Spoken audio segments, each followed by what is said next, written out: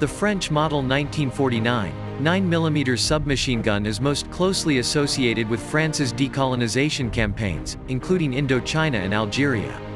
The MAT 49 is a simple, robust, compact, and reliable weapon that was used throughout Europe, Asia, and Africa.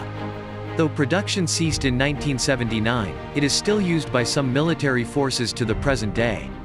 With its notable retractable stock and folding magazine well, the MAT 49 was especially favored by airborne and other elite forces. This book covers the early history of French submachine gun design back to 1919 and then details all aspects of the MAT 49 itself, including variants, ammunition, accessories, and combat usage. Find the link below and buy the book now.